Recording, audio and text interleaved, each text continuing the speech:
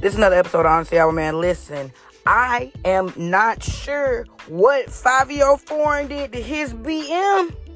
She thinks that this man is gay. His porn history, it was gay shit.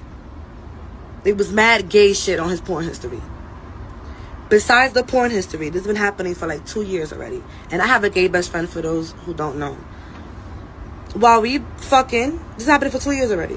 While we fucking, he will come, he will fuck up. As in, the first couple times, I just thought like it, he was just fucking up. I didn't think nothing of it. I'm saying fuck up as in, you know, we talk when we fuck. We talk nasty. So instead of saying like this my pussy, like he'll say this my dick or This is not it. Okay? I am not for women exposing men, especially men that they have had sexual contact with, whatever the case may be.